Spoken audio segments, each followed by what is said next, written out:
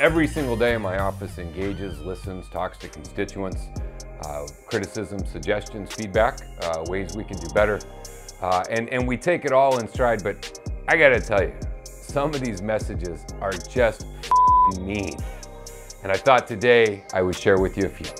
That idiot has a hard time wiping his own ass. Try asking a competent adult. There's things I have a hard time doing hanging up the wet towels on the hook in the bathroom. Remembering which trash day is like recycle and trash and which day is just trash. I don't have any trouble wiping my own Nate is a great follower of the latest trends. I bet he was good at the Macarena back in the day. First, I'm not following the trends. We are, are setting the trends on this. And second thing, everyone did the Macarena back in the day. You know you did, and everyone watching knows they did it too. Think you would be a good fit for working at the zoo. You are good at shoveling. Yeah, I'm, I'm also good at talking to the penguins. Maybe I should get a job at the zoo.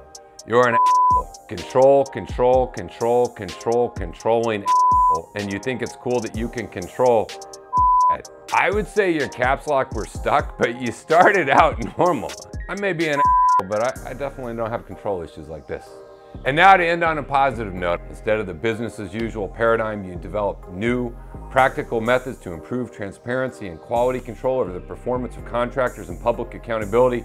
No more excuses for poor performances. Thank you so much. Patricia, thank you.